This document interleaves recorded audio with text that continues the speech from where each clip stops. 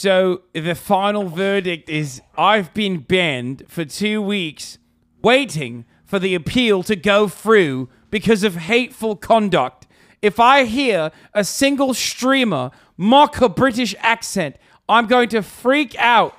That is 100% racist from now on. Is that what he said? That's crazy. That's that's so crazy. Yeah, I like that he's like openly admitting that he's gonna f- be fake outraged. like eh, that's more honest than like what other people do, which is like, he's too stupid to like openly admit that he is like gonna be fake outraged. Oh, that's That's what he said and how he said it. exactly. Oh man. Listen,